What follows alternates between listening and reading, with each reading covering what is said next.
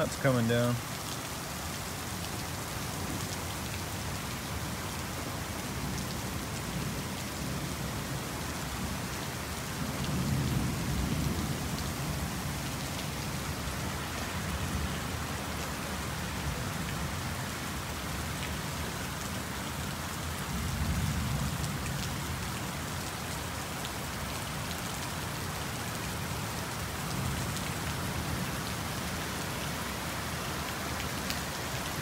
I don't feel any wind, so hopefully this storm will just sit right on top of us.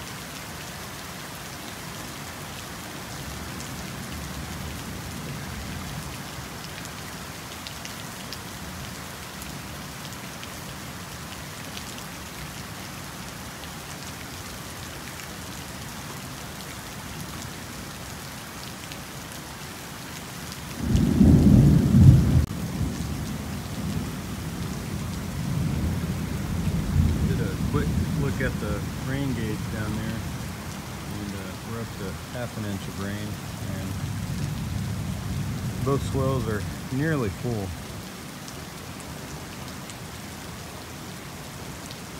We just got that two inches all at once last week so this is really unusual to get this much rain in the hot summertime.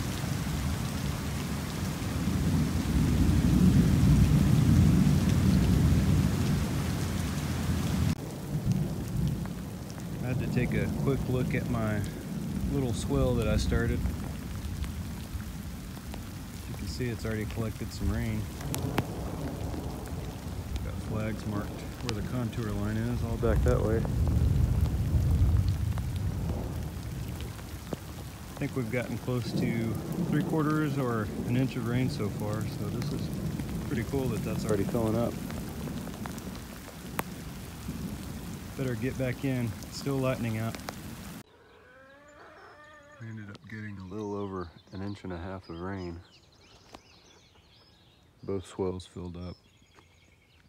Um, it was like 100 degrees yesterday, and I think it's going to be 100 degrees today, so a lot of this will dry up, but good thing about all these wood chips is they'll help lock in that moisture in the ground for a lot longer than the bare spots. All in all, really good rain. Thanks for watching.